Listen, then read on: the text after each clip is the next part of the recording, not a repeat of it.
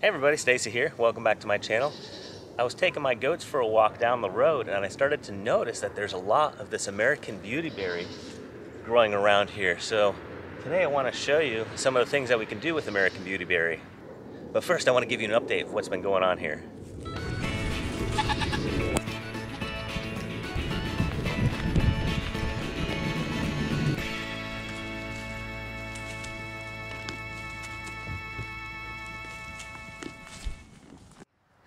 Say hi, Happy. Well, as you can see, I planted some grass and it started growing, so that's really exciting. I wasn't sure if it was gonna take in the shade, but it looks like it's doing well. The other day, I noticed that there was something that was eating away at the plastic food container I have some of the goat feed stored in. I thought it was a squirrel because I saw a squirrel hanging out here, but I set out a trap and let me show you what we caught.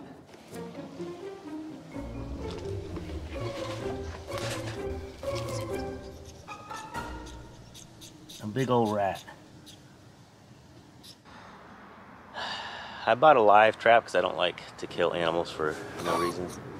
So I'm gonna bring them down the road, uh, far away from here and let them go. Hi Duncan, hi Buster. You guys excited about the grass?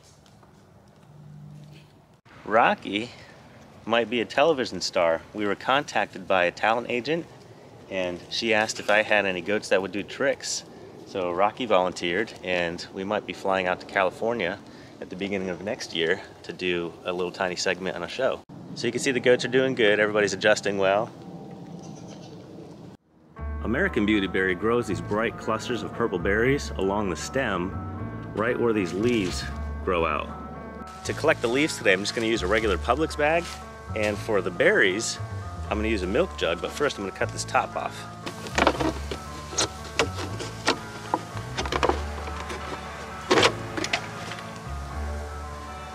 So when you're doing these berries, you don't have to pick each individual berry off one by one. That'll take forever. So what I do is just kind of hold the jug underneath there, rub against that whole cluster. There we go. You'll probably get some leaves and stems inside your bucket, but that's okay. We'll take them out later.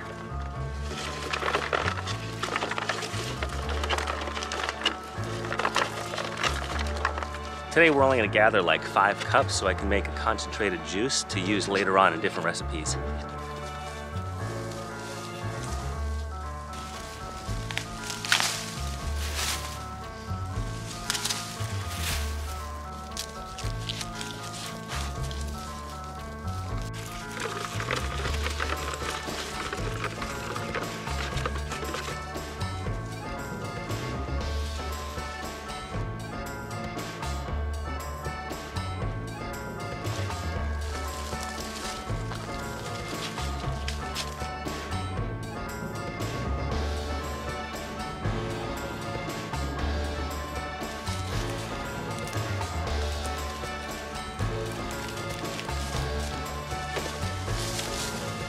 This way.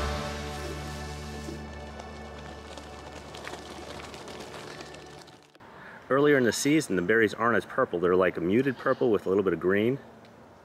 They're ripest when you see a bright purple cluster like this.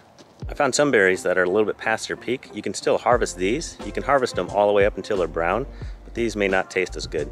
You could eat the berries right off the plant when they're ripe like this, but you don't want to put a whole lot in your mouth because they're very dry they taste sort of uh, like a flower. It's like as if you were to eat a flower petal.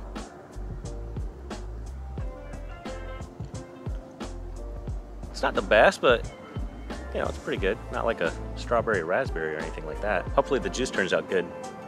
The leaves take a little bit longer to process, so I'm gonna work on those first. They contain three different types of chemicals that repel insects like mosquitoes. The first is callicarpenal, then there's intermedeol, and then spathulenol found a few recipes online for the insect repellent. The one that we're gonna do is probably the easiest and the quickest. So you're gonna chop up these leaves, put them in a jar, pour some boiling water over it, let it stand for four to six hours. So let's do that first. I just realized we could probably just tear these up and it would do the same as chopping them, so we'll do that instead.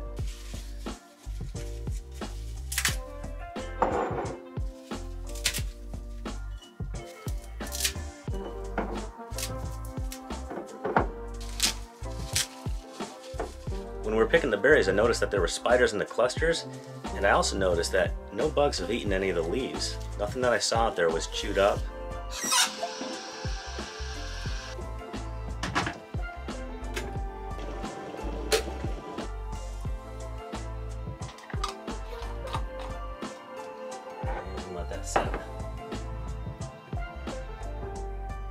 Now we're going to make the beauty berry juice, which can be used later for tea, jams, jellies, other types of flavoring. And what you do is you mix one part of berry to one part water, and then you boil it for about 20 minutes.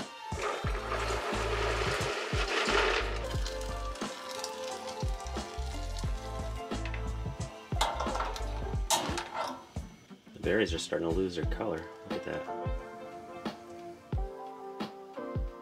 Alright, so this is done boiling. I'll shut that off. I'm going to pour it through a strainer into a French press and then I'm going to press it to get the rest of the smaller sediment out and pour it into these jars.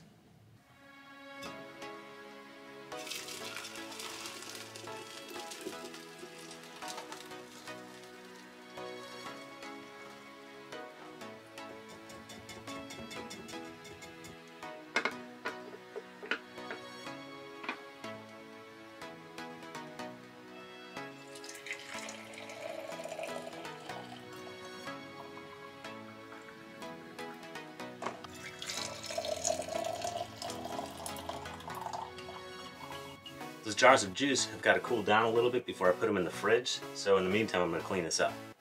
Something I forgot to mention earlier was, is if you're out in the woods and you find a beautyberry plant and you've got mosquitoes bugging you, you could take the leaves, crush them up in your hand, and rub them on your skin like this, and that'll help keep the bugs away.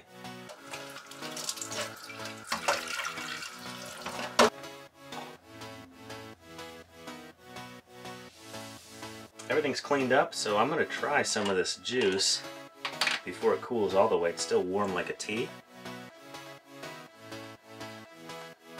It's not bad. Pretty good. Cheers. The next step for the repellent is to strain the leaves, pour it into the squirt bottle, and then we're going to add some witch hazel. I think I'm going to use the French press once more because that worked pretty good last time.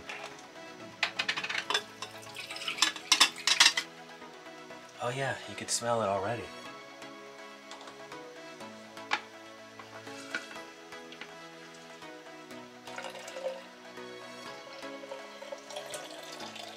Doesn't look like I need to add much witch hazel at all.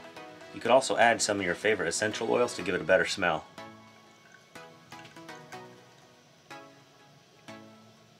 Put a little lavender in there. There we go, bug spray naturally made. And there we have it. We've got beautyberry juice and a natural bug spray. If you guys enjoyed this video, give it a thumbs up, share, and consider subscribing, and I'll see you next time. Okay, rat. Get out of here. Go.